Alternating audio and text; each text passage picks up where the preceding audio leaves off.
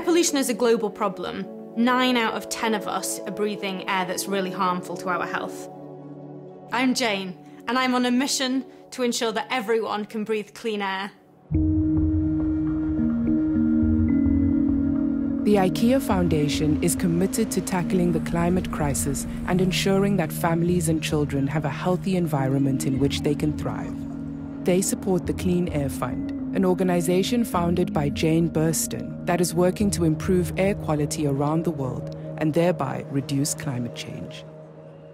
The first time I really thought hard about air pollution was when I moved to central London. I used to cycle to work every day and I'd wear a mask uh, because there was lots of, lots of traffic. And at the end of the week, the filter in the back of that mask was black.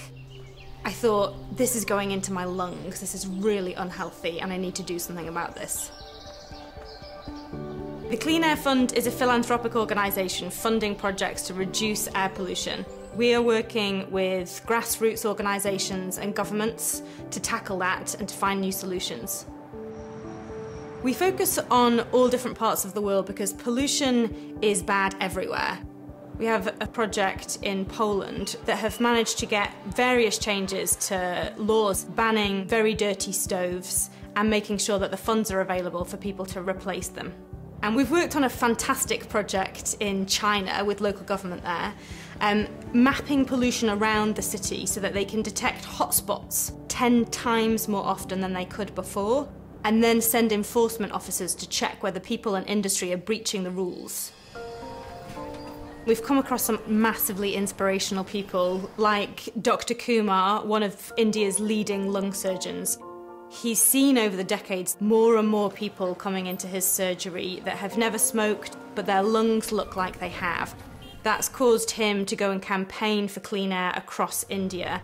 I've met Rosamund Kissi-Debrah, whose daughter tragically died because of an asthma attack brought on by air pollution near her home in South London.